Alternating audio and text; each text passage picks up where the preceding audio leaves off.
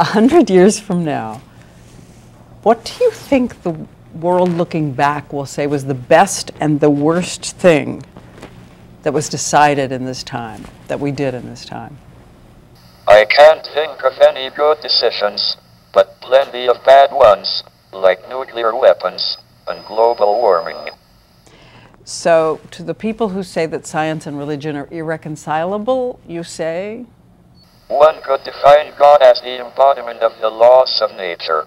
However, this is not what most people would think of as God.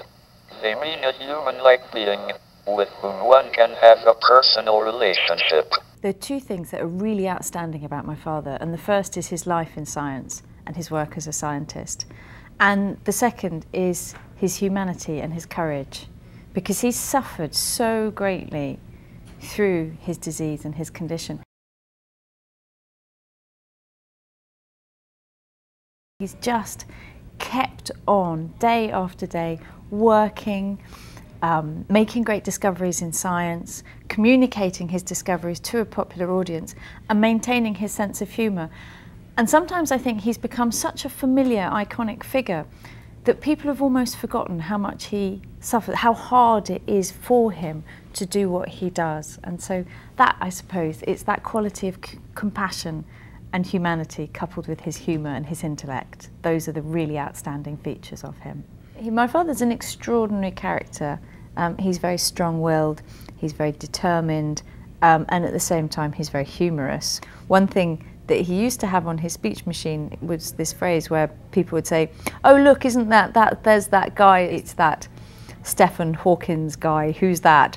And then he would come up with, "I'm always being mistaken for that man," and it would really throw people. You could see people doing a double take. So he's very good at just coming in with a very sharp comment just when it's least expected. And I think he will be remembered as a great scientist, but also as a great hero.